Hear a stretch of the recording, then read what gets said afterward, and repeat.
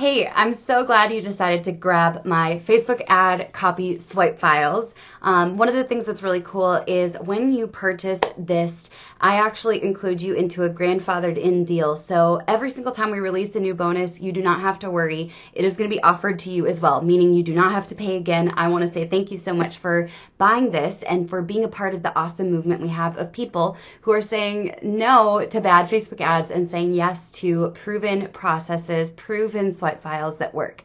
So I'm so excited to see how this serves you, um, but you will also be getting all the bonuses. So every time you see me put a new bonus into place specifically for this offer, you don't have to worry. We're going to send you an update with all of the bonuses included. So thank you for joining when you did. I also wanted to share with you, it's kind of important to make sure that you slightly swipe and then tweak any of the copy. I've noticed that some people have started to run ads that say things, for example, like let's keep this short and sweet, just like me. Okay, that works, unless, of course, you are six foot two. Make sure that the ads are true to who you are. If my ad mentions a Minnesota workshop, you're not going to want to put a Minnesota workshop if you're in California or Amsterdam.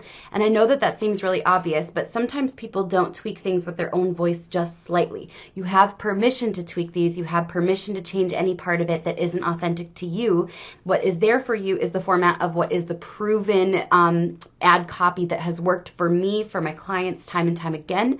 What you can do is tweak it to match your your voice, your offer, and your products, as well as your height. So I hope that that serves you. I cannot wait to see you running ads with this. I hope it shortens the process for you. Um, best of luck to you, and I can't wait to see you at some of my future events as well as in some of my future courses. So bye, guys.